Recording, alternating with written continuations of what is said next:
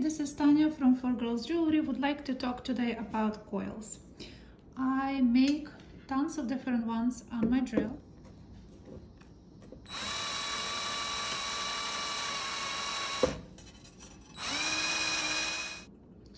And I just want to show what I do with them. New coil, usually a coil long, basically on the whole thing after they are done I squish one side slowly so they line up like so. It's it's just slowly. After they line up I hammer them. Just take a block and hammer. After I hammer lightly, I open them more the way how I like. So sort of like that. From these sort of simple pieces, you can make amazing jewelry. I really like the coiled stuff. Make all kinds of different ones that I make uh, bigger, smaller. Um, I have different kinds of uh, gauges I use. Um, and here I want to share jewelry uh, from coils. I just finished them this morning. They're not completely polished.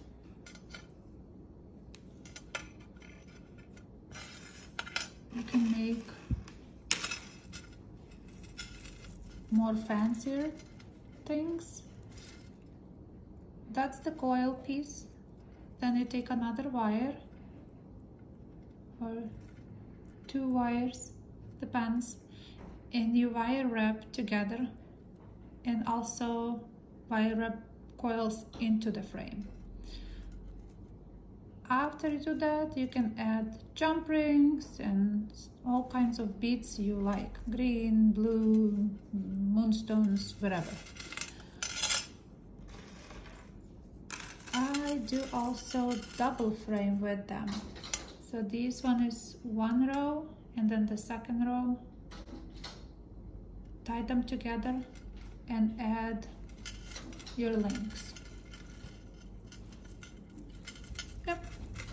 Sorry sorry for my dogs. Just want to go inside. I also made matching earrings. Here is only four coils. They spaced more. And the same lengths uh, I also did a little bit more I don't know summery earrings fancy with uh, seed beads coils. These coils I am actually you can make also on the drill. This one was by hand but it, you get idea what you can do with them. Just all with the coils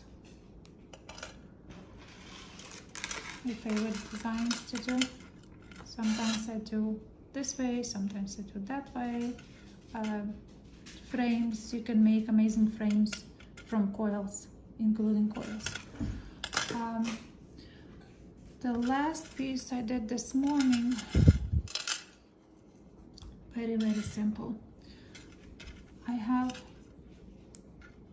jump uh, stones like this so uh, coils I cut. Let me look for it.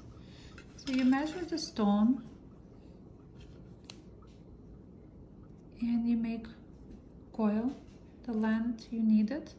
Simple bail the only thing here is uh, it's drilled. So I put a wire with the torched end here you can see squished a little bit so it won't go through completely but it's not enough enough security with with just going through the bead because the bead will be wobbling. It doesn't have that much support. What I did I just netted around from both sides. Very quick guys. You can very easily achieve that very fast and it's a simple piece I made tons of earrings in the past with same idea. Um, just use a 22 gauge wire around smaller bead and on any jump rings. Looks fantastic and it's easy. I hope you enjoyed this tip and I will see you on Tuesday. Thanks for watching